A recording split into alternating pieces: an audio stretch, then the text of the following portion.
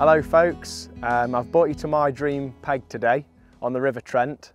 So behind me you can see wonderful, beautiful day we've got here and we are fishing the River Trent at Bleasby, uh, just near Hazelford Care Home. Um, I think back in the day it used to be a pub called Fox and Gauntlet. Some of the old Trent lot um, talk about it and I, I, think it's a really good area.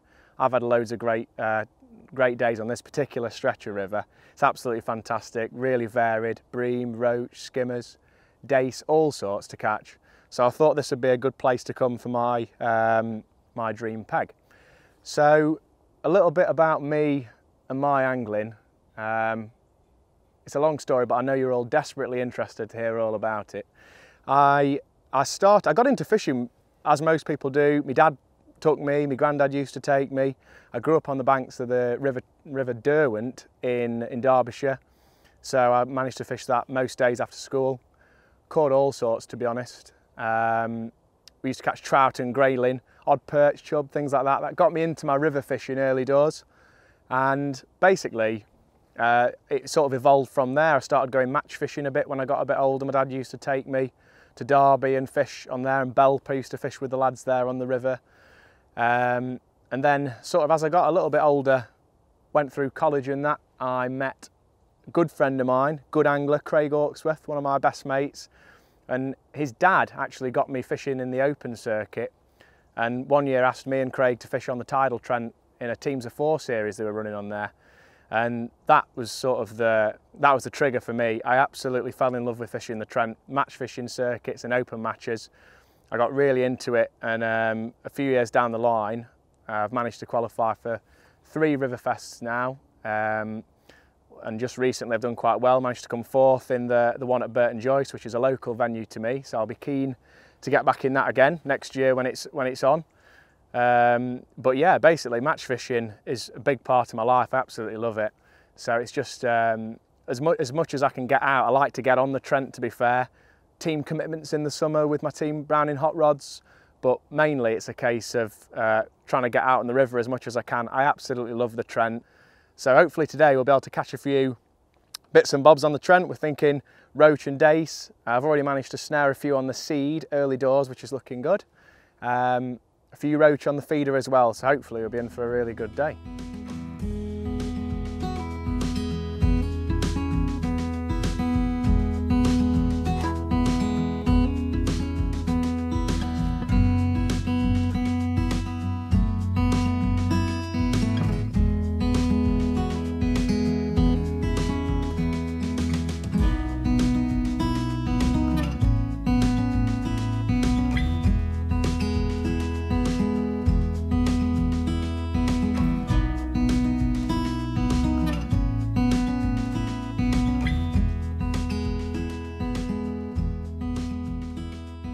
Talk to you about my rigs now. Um, a bit of a theory, similar to me feeder fishing, I like to have a, a range of tackle set up on a flowing venue uh, to keep changing things, chopping and changing between heavy and, and medium sort of size rigs and lighter rigs. So exactly the same with the feeder fishing. Um, my float fishing gear, starting with the heaviest of the setups. Um, all these rigs are on top five for today and uh, it's a six elastic. It's 016 Browning Hybrid Mono. Uh, this is a three gram float.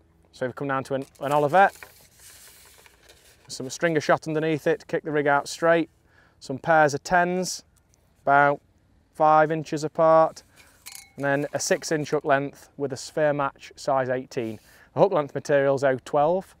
Um, when there's a few fish about, I think there's no, no need to fish too light, especially on flowing water. The bait's nipping past them, they're going to be snatching at it. I don't think you need to fish super light all the time. So that's my heaviest rig, three gram.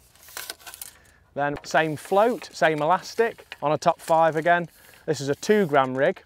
Same float, same pattern, but the two gram version. So this is like the middle um, size rig. Again, an Olivet, stringer shot underneath it. Now, single number 10s. Similar sort of pattern and one extra dropper. Um, this is slightly more strung out than the previous rig. Um, again, with an 18 sphere match, 012 hook length. So that's sort of a, a slightly lighter version of the previous rig. And same as before, the lightest rig, again on a top five. This is a six elastic again. Now this rig's a little bit different. I've got number 10s strung out from probably about two to two and a half foot from the hook. Now these number 10s are only about 10 to 15 mil apart, getting slightly wider down towards the hook. There they're about two centimeters apart, so 20 mil apart. And then I've got number 10, four inches, another four to five inches. I've got a number 10, six inch hook length. Again, a size 18 sphere match, 012 hook length. Now this is the lightest rig, I'd use this for, for hemp and through the water. But the idea is with those three rigs, I've got lots of options. A heavy rig for sort of slowing it down, fishing slightly over depth, tripping a bait through. My two gram rig would be for dead depth, running at them. And then I've got a gram rig through the water, slightly under depth, so I can fish hemp, baits like hemp, cast a single maggot, if the fish are taking it on the drop.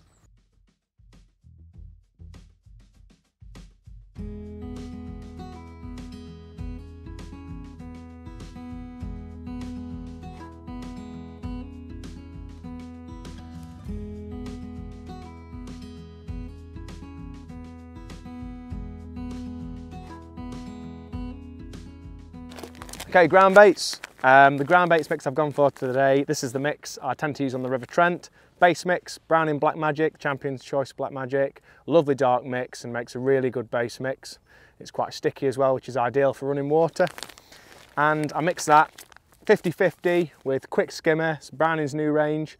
This is a really lovely mix um, and it's very, very sweet, which I like, uh, just like me.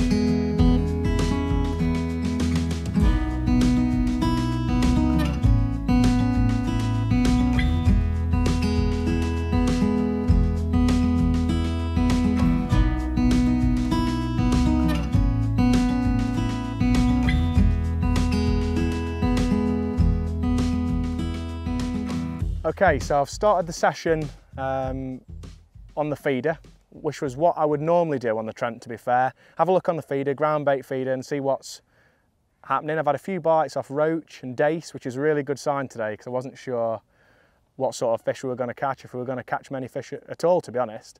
But it's a really good sign to catch a few roach and dace early on the feeder. But what I've come here to do today, and I think that's going to be the primary tactic, is catching roach on the pole. So I've put some ground bait in, I've cupped a few rich balls in with some hemp, some casters, a little bit of chopworm and a few dead maggots. And then I've balled a few over the top as well. So I've let that settle whilst I've been fishing the feeder. I'm gonna have a little look now and see what's, uh, see what's occurring. I've started on the three gram rig, heaviest rig of the three. So the beauty of this rig is I can uh, just slow it down a touch right over the top of that ground bait because at the start of the session, after you've balled it, the fish are going to be straight in over the top of that ground bait, right where that ground bait is. So feeding a little bit of hemp with a view to catch on hemp later on the lighter strung rigs, but I'd expect most of the fish to come over the top of the ground bait.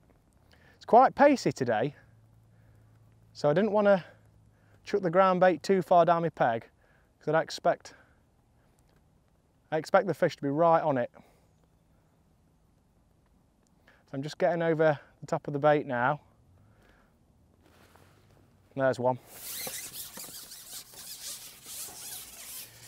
Doesn't look like a massive fish. Yeah, that's what we've come for. A little roach. So what I'm hoping to do now is try and work out where those fish are in my peg. I've put that ground bait in and that came straight, that, that bite came straight over the top of the ground bait, maybe even a touch above it, which is a good sign. So with that in mind, I'll carry on with the heavier rig to begin with. Like I say, size 18 hook, 012. Don't want to fish super light to begin with because there is some skimmers. There's some big perch. Just a case of loose feeding. This rig's just set slightly over depth. So if I touch it or slow it down a touch, it's not going to lift up too high in the water. That was a bite. Right on the ground bait again. Like I say early in the session, when you've balled it, cup some ground bait in, a lot of fish are going to come into the peg, all competing for bait. There's one. Lovely.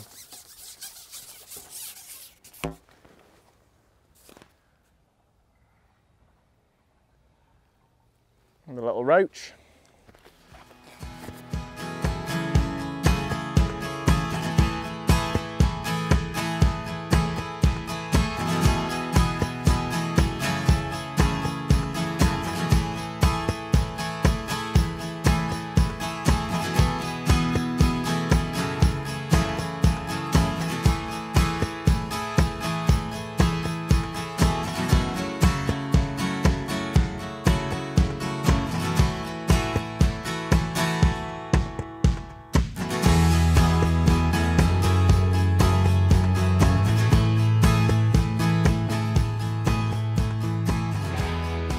So, roach fishing in general on the Trent, it's absolutely fantastic. I'd say it's one of the hot spots in the country for roach fishing. Um, you can be fairly aggressive at times. The shoals of roach are absolutely massive. Um, and if you get amongst them, I think to be fair, some would argue, but catching them on hemp can be really, really dangerous. There's some fantastic hemp anglers on the Trent.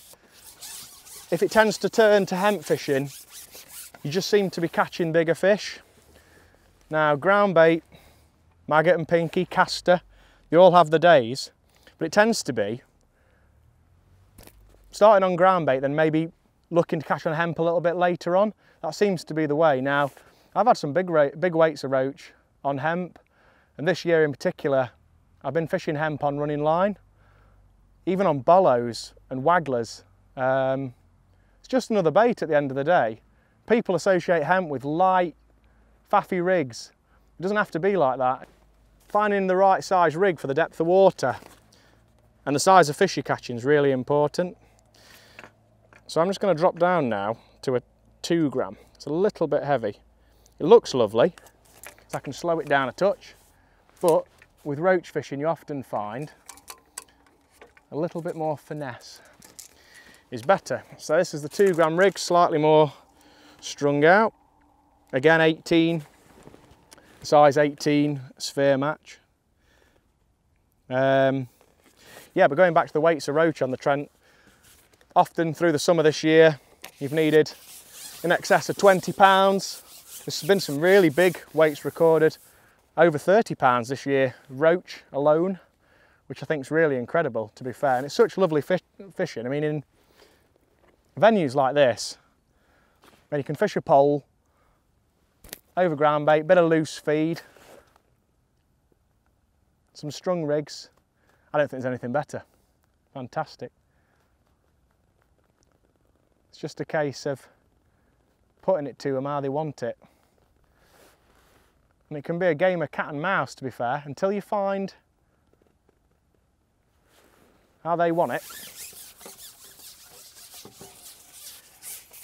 Just a case of trying to work out what's best. Now, I prefer, if I can, to run the rig at him. I was talking earlier about slowing it down, but every day can be different.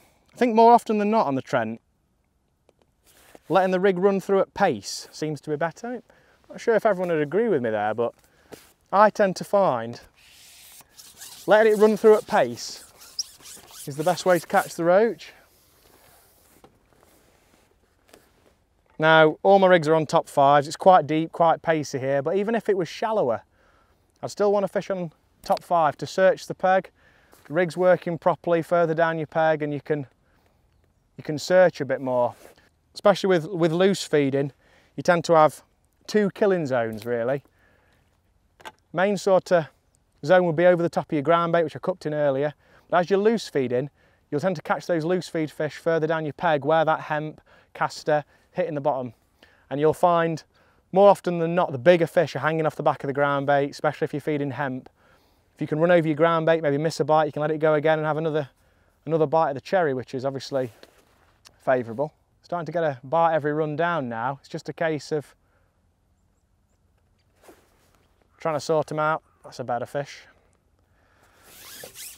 Like I said, a bit further down your peg, where that loose feed's going, the soon onto the loose feed. And that tells you sort of what sort of day you're going to be expecting to have. If you're catching fish, the bigger fish on your loose feed, you know it's going to be a loose feed day. Trying to knock my catapult in. So if it's going to be a loose feed day, you know you're going to be reaching for that strung rig earlier in your match. And uh, maybe those heavier rigs aren't going to be aren't going to be aren't going to be right on the day. But again, having that variety set up just gives you options when it comes to searching your peg. Now, this particular venue in the past, fishing heavier rigs and inching them through has been the way to catch skimmers. Maybe when it's a bit warmer and there's some more there's some more skimmers feeding closer in, you do tend to catch inching through heavier floats, maybe even a little flat float.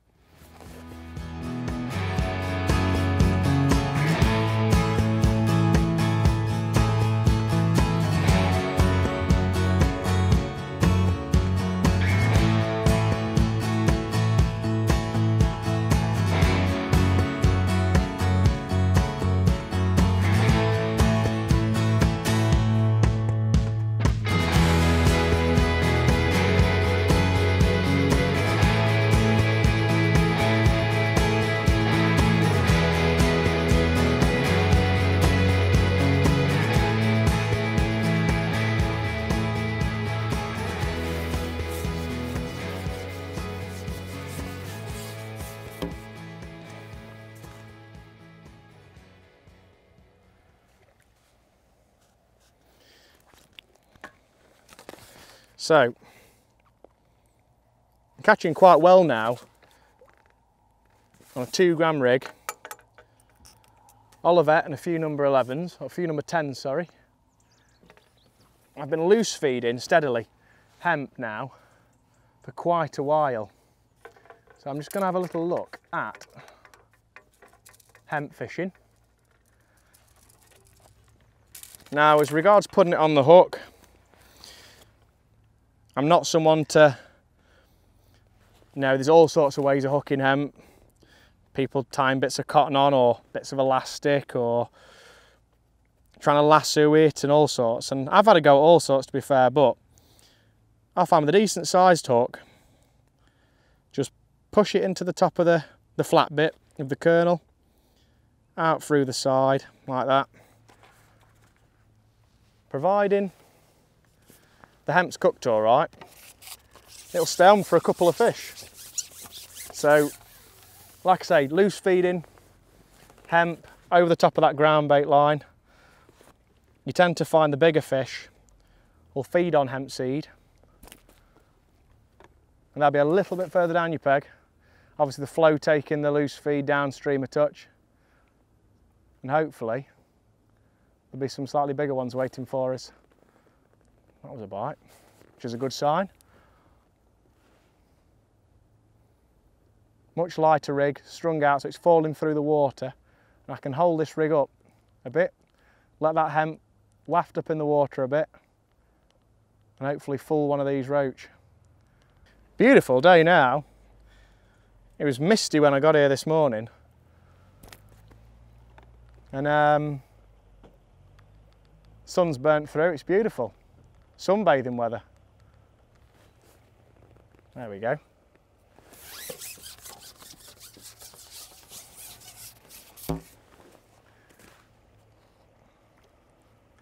What was I saying about bigger roach on hemp? Little fish there, straight over the top of the ground bait. Just shows you not, not just the big fish eat the hemp. I think it's why it's such a good why it's such a good attractant really for all species of fish. You know when it's not right with hemp fishing because you, start, you miss a lot of bites. You can get indications but you can't hit any.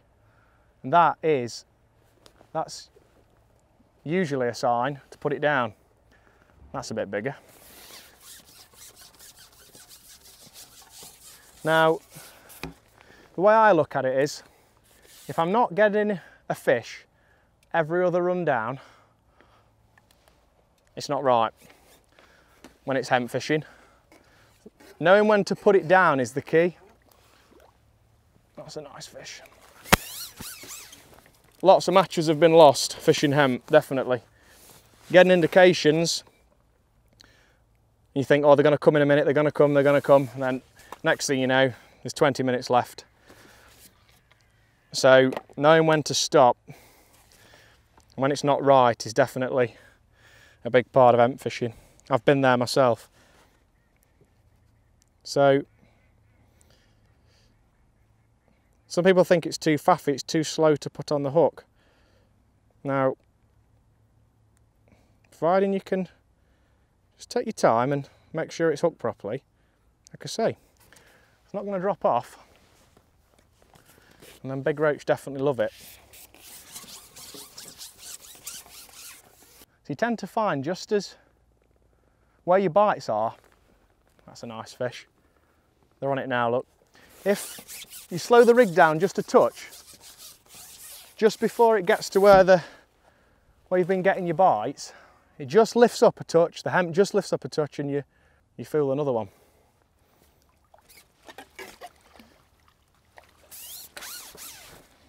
Beautiful.